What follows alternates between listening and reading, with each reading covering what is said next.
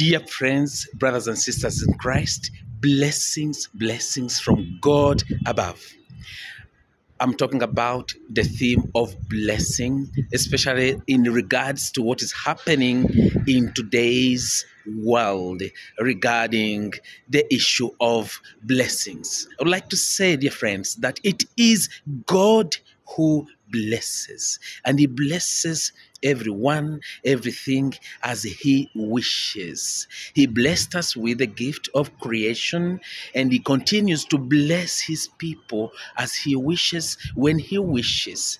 And we are called to be channels through whom God's blessings reach our brothers and sisters, and to share the blessings generously the way God shares the blessings with us.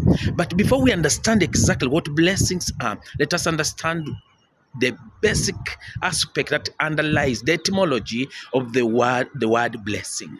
It comes from the latin word benedictio benedire which could say and which means to speak well to do well to do good to speak well of someone to speak good of someone to speak well of something and it is God who speaks well of us. He does well of us for our good. So, and we speak well of God, thanking Him for His goodness. We do well to God by doing well and good to our brothers and sisters. I repeat, it is about doing well, speaking well, being good. And good is good. It cannot be mixed with bad. Any action is good when it is good by itself and does good to every human person. So when we talk, talk about the etymology of the word benediction, benedire, benedire, to speak well of the bl- blessing, that's why we talk of God blessing his people. It is God first and foremost who blesses his people. He blesses you and me abundantly, and he does not calculate his blessings. He's wishing well of me and of you. He wishes well each one of us as people, first of all, created in the image and likeness of God. And he wishes our good and asks us to be good to everyone that we meet. And that's why we also hear of the expressions like, eh, we bless the Lord. Let us bless the Lord. Let us praise the Lord. Meaning, who are we, human beings, to bless the Lord? It is God who blesses us, yes. But we can say that let us bless the Lord in the sense of let us speak well of God. Let us speak well of the wonders that God has done. Yes, we can say, let us bless the Lord. Yes, that's when we can say, let us speak well of the many wonders that He did in the past, the many wonders He continues to do today, and the many wonders He will continue to do tomorrow and forever. Because our god is a god of surprises. He can he has endless blessings and he blesses us so much more than we can desire. We cannot limit him. His blessings are too much. We are he just shares his unmerited favors and blessings to us as his children whom he created in the image and likeness of god. We get, especially from the Old Testament, among the many moments in which God blessed his people, even as individuals. And one of the famous blessings is in Numbers chapter 6 verses 24 to 26 the lord bless you.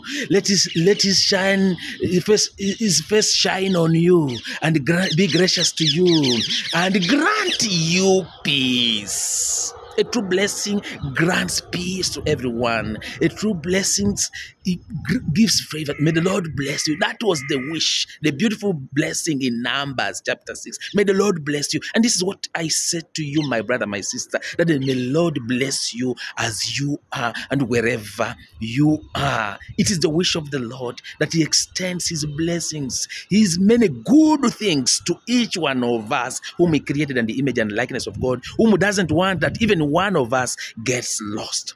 That is Numbers. And we hear of another Psalm 3, bless the Lord at all times. I will bless the Lord at all times, in good times, in challenging times, in darkness, in light. At all times, I'm invited to speak well of God, to bless the Lord at all times. Benedicam Domine in nomine tempore. Let us bless the Lord at all times. And this is what we are invited to be and to do to speak well of God and to speak well of each other. That is to bless each other, to speak well of each other because God works and speaks to through us to each other.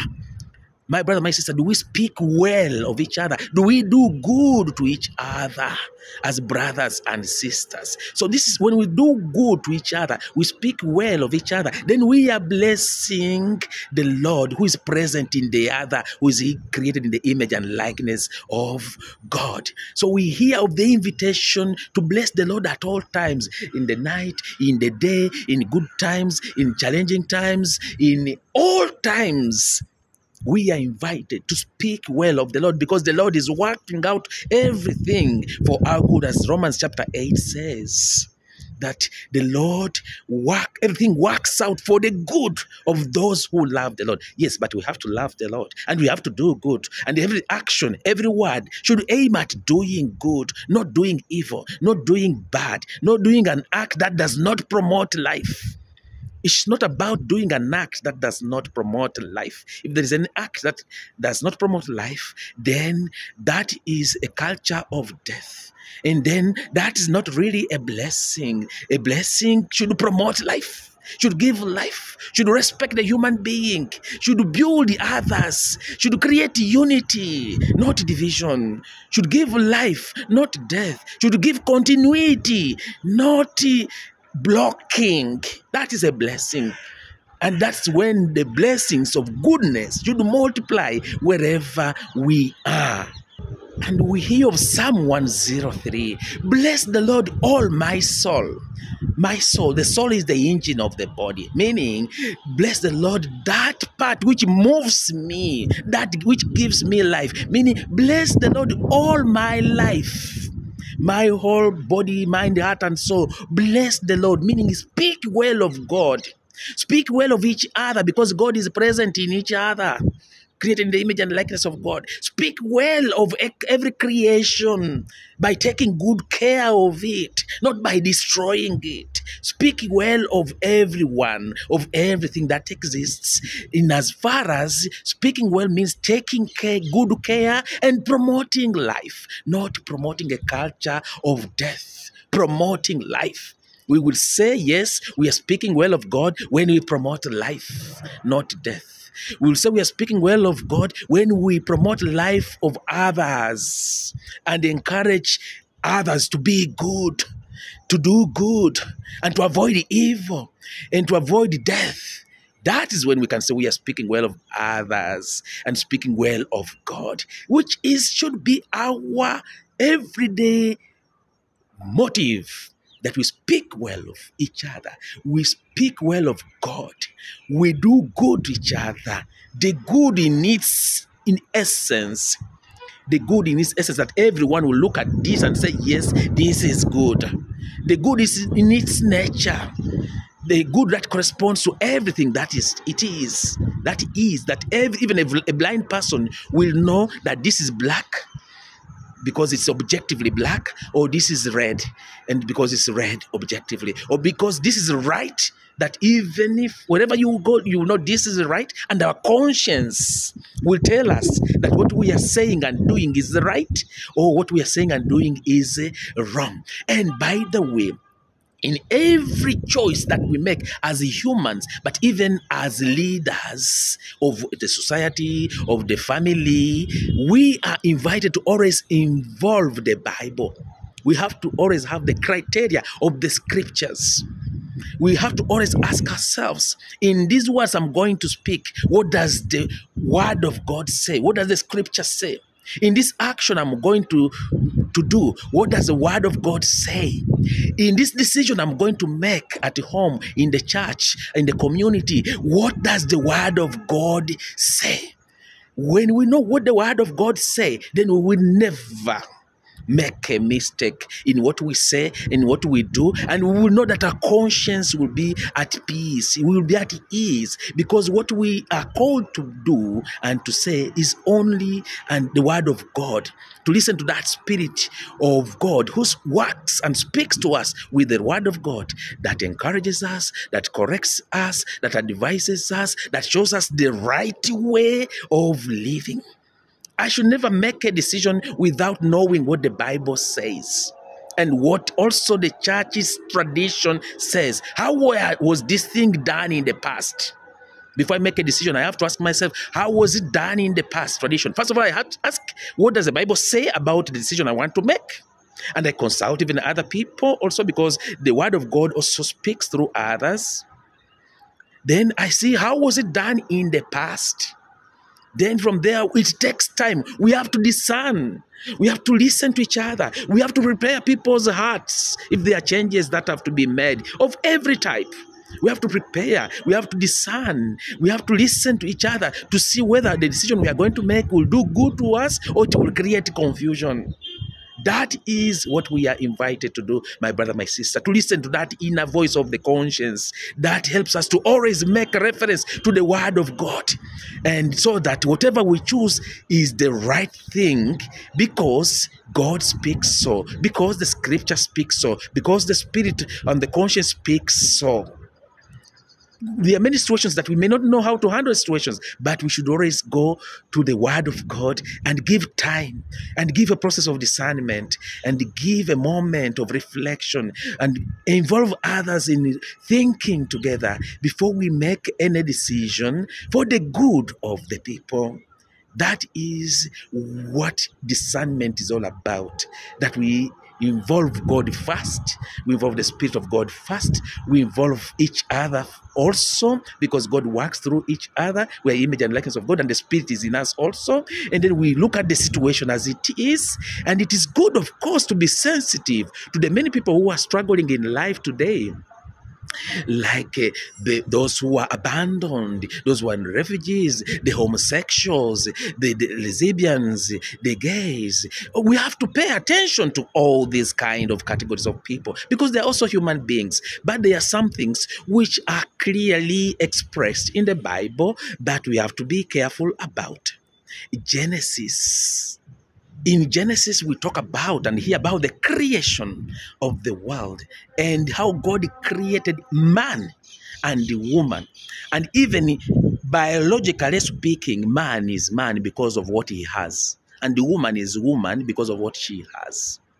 And we hear and read that that was first of all for their company. That's not good that man stays alone. I will make a woman a helper for him. So he not make man another man for man. He made a man and a woman. And the biological, even the structure of whatever is there, let me call it the apparatus, is, is clear that a man looks like this and a woman looks like that. And so that is automatically merging together. And that's why we read even from Genesis 2, verses 24, that a man will leave his father and mother and go and join with a woman at marriage, of course, and the two will become one. And what God has united, no one should put it asunder. A man goes to join with a woman, not a man and a man or a woman and a woman. It is clearly expressed. Of course, with all respect to whoever has challenges with the, the, the, the humanity of someone, that of course they need to be welcomed, to be felt, to make them feel at home, and in order to really bless them as well as individuals. If there is any blessing, it's of individuals. Because here it's clear a man will leave father and mother and join a woman and the two will become one. That is marriage. That is marriage. Not a man and a man and a woman and a woman. Because why? What happens in marriage? Me, I'm now speaking as a liturgist here. When we bless people, when we bless people, and let us understand this clearly. The words match with the action. The words match with the action. We call it ritus et preces. The words, the prayers matches with the action, the gestures. The prayers with the gesture. And now we are blessing a married couple of a man and a woman so that what? So that they can express the true love of a man and a woman so that that love can bear fruit of their children. So procreation, so showing the blessing contains the love between husband and the wife, man and the woman. The blessing, as we extend the hands, the gesture, contains the procreation, giving birth to children, meaning promoting life, because that life cannot continue with man and man. That stops and blocks life. Three, that that as they procreate children, as they procreate children and give birth to children, they take care of the children. So we pray that the Lord may bless this husband and the wife that they become one and they show love every moment, every second to each other, enjoying their love life together and supporting each other in good times and in challenging times and making life easier for each other's husband and wife. So we bless them so that they can enjoy their marriage life. And as they enjoy their marriage life, we bless them and say, May you also give birth to children, especially those couples that are still young. May you give birth to children because it's a gift so that the, the continuation is there, life continues. And we pray also that as you give back to children, may you give them a good example. A good example, and by taking good care of them. This is the content of the blessing, plus the gesture of which is of extending hands towards the couple, extending hands, which is a sign of passing on of power from God. That's what a minister, a liturgical minister, does, blessing the couple. We are called to bless each other. Yes. We are called to bless each other. Okay? That is it. Even as humans, we bless each other. We speak well of each other. Husband bless a wife, wife bless uh, bless a husband, children bless their parents, parents bless their children. This is common in many cultures. Okay, we bless things. Of course, the more things are reserved for liturgical purposes, the more they are reserved for liturgical ministers. You cannot tell a lay person to bless the altar or the church. No, that is reserved to the bishop. You cannot tell uh, a lay person, I don't know, to consecrate what. That's reserved for the priest who has the powers, who receive the oils and prayer of consecration and laying of hands, see, to consecrate the bread and the wine, which turns into the body and blood of Christ. That belongs to the priest. So the more an object is close to the church, the more it is reserved to the church ministers. Parents can bless the food at home, yes. Children can bless the food at home, yes, because it's close to their way of living there. So this is the issue of blessings, my dear brother and sisters. We every one of us is called to bless, yes, because we have that baptismal priesthood in us. Okay, then others have the ministerial priesthood. They are ministers, church ministers who are called to be humble servants, to serve humbly other brothers and sisters in humility, in the example of Christ. Yes, of course, Christ was close to the brokenhearted. He came for the poor, he came for the sick, he came for sinners. That's all true. But there are things he never compromised about. The Bible remains Bible, scripture remains scripture. Yes, he was sensitive to those who are suffering, and that's what we are called to be sensitive to those who suffer. For sure, that's what it makes us a true Christian. Even those who have some kind of uh, human challenges, we are called to be sensitive to those who suffer. That is true because we are invited to be like Christ, who was sensitive to those who suffer. Those who have challenges, including the homosexuals and the lesbians. But this kind of style does not promote life. And in case someone has all this kind of challenge, one invitation is to consult experts medical experts, to consult religious experts to pray over, to create a positive environment which is healthy with whereby there is a complete a complete environment of men and women an environment of a family. A family is not made up of only one man and one woman or one woman and one woman. It is made up of a husband of a wife of a children. And this is what is composed of a family. And this is what promotes life. Otherwise life is dead. Life is dead. And we are all invited to promote this life to promote this life always and everywhere and to defend the life which we have freely give received from the lord. If our parents were to decide and say no me the mother wants to get married to another mother and then the, the father wants to get married to another man man and man then where would we come from? And that's why this is an attention that should be given, yes, to these people who have this challenge by seeking medical attention, spiritual attention, and the social attention with an environment that integrates, that brings them together, that makes them feel good as they keep working on themselves to regularize the whole reality, and at the same time, if as if God wish wishes, and leave everything to God.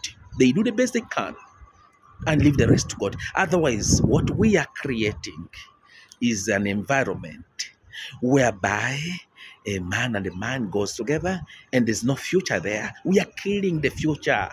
We are killing the future of humanity by encouraging such a kind of culture that does not promote life at all.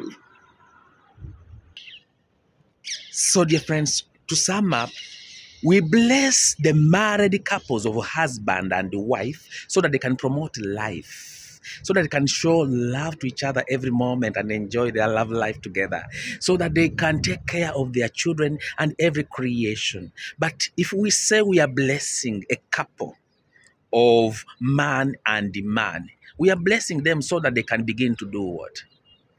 So that they can now do what? or a woman and a woman so that they what what next it's good yes to speak to them as individuals to bless them as individuals but not as couple. To bless them as individuals but not as couple. And to bless them as individuals so that they can become better. Because benediction means to speak well of this individual so that he can become a better person and do good and be good and instead of doing evil and being evil. Because what is moral is clearly explained in the bible what is immoral is clearly explained in the bible we have the ten commandments and they are guide, guiding us seriously and we can know i don't need to come and tell you that what you are doing is wrong or what you are doing is right you know it, my brother, my sister. Your conscience will tell you, but the Bible also clearly says what is moral and what is immoral. This is what we have to listen to that voice of the conscience, but also the scriptures. So if I am to bless, I bless the married couple of man and woman in order for them to promote life and give life to more children and expand as blessings from the Lord. But if I'm to bless if there are people who have a challenge with homosexuality or with lesbianism and so on and so forth, I have to bless them as individuals, not as a couple. Individual, one, one, one person. Because I feel there is something to correct there. Because what is the future now? I bless a couple of these these two these two lesbians or uh, homosexuals, so that after that they do what? They continue living together and promoting life in that way. And then the children who are seeing them are able to see that the man and man are living together, and woman and woman are living together. Then you'll find that children who are already normal and they are functioning very well, they will begin imitating those individuals. Ah, look at those uh, the, those those individuals who are living man and woman. I can also live like that, and yet they are normal. Then you see it's a disorder which is created in the society which does not promote life.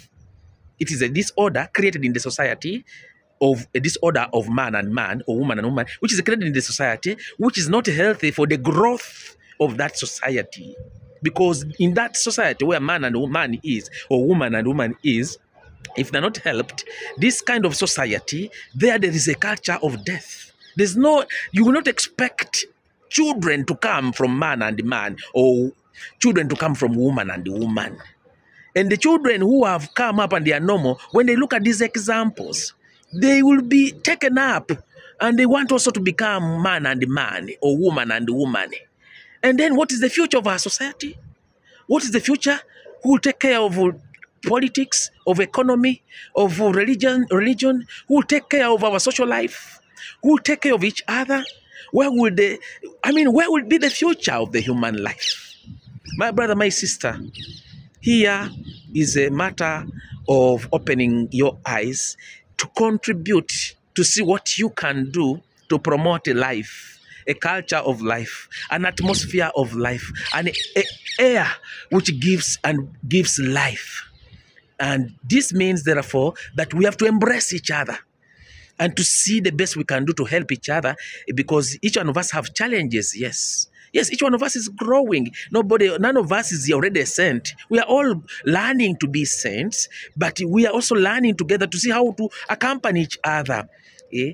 Those who are sick, we accompany them. We don't abandon them. Those who have challenges of, of any kind of disorder, we also accompany them. Because the natural way says man looks like this and woman looks like that and man and woman together, husband and wife, give children and promote the children. And the more they give the children, the more the life grows in the society from generation to the generation. That's why I am here talking to you. That's why you are there listening to you, to, your, to, to, to me, my brother, my sister, because you came from a woman and there was a man who was involved there and that was your husband your your your, your father my father and my mother God bless them wherever they are. And for those who have gone ahead of us, may their soul rest in peace. A respect to all the mothers and all the fathers.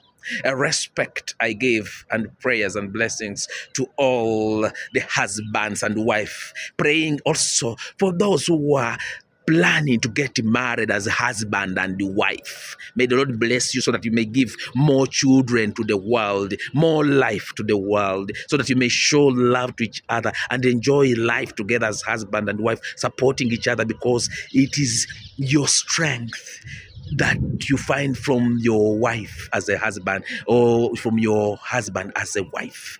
That is your strength. And try to make things always easier for each other as husband and wife. And then life will be easier for both of you as husband and wife and as a family. I salute you, all of you who have the courage to settle down with the husband and wife. And for those who are about to get married, God bless you as you continue regularizing and doing things the right way. Those who are about to get married as husband and wife, as woman and man. May the Lord bless you in as you get ready. And for those who are struggling with life, especially those uh, who have uh, some kind of different way of acting and responding let us call it maybe like a kind of like a, a, a, physical disorder in one way or another we pray for you that the lord may help you if it is his wish to realize and accept your situation. And if it is wish, may miracles happen through your lives so that you may realize if you are a man that you are a man, and if you are a woman that you are a woman, and if, so that you can also get married uh, to Eh, to each other as husband and wife, as man and woman, not as man and man, and not as woman and woman. My brother, my sister, let's do the best we can to encourage life, to promote life. And may the Almighty God bless us more. May Almighty God bless us more as we continue listening to Him, especially through His Word, which is in the Scriptures, and through the Spirit that moves us every moment. And may we continue blessing each other, speaking well of God and speaking well of each other and speaking well of myself also, doing good to myself, doing good to others, doing good to God, speaking well of God and many wonders He has done. May we continue speaking well of God and many wonders He has done and which He continues to do today and which He will do even tomorrow. May we also thank God and speak well of each other. Speak well of each other. Let Almighty God bless you, my brothers, my sisters. Amen. This is Father Moses Wanjala. Greetings from Jerusalem. Praying that God blesses you abundantly. And that's my wish and prayer for you that we continue journeying together and accompanying each other in every moment of our lives. And for those who are struggling with life, courage, courage, you are not alone. Do the best you can to do good and to be good, and leave the rest to God uh, so that at His own time He may accomplish the good work He has started in you. Be good, do good, speak well of others, do good to others. That is what it means to be a blessing. Greetings and blessings from Jerusalem to you and to your loved ones. And let us make a world, this world a better place for each one as we continue promoting a culture of life, not a culture of death. Amen.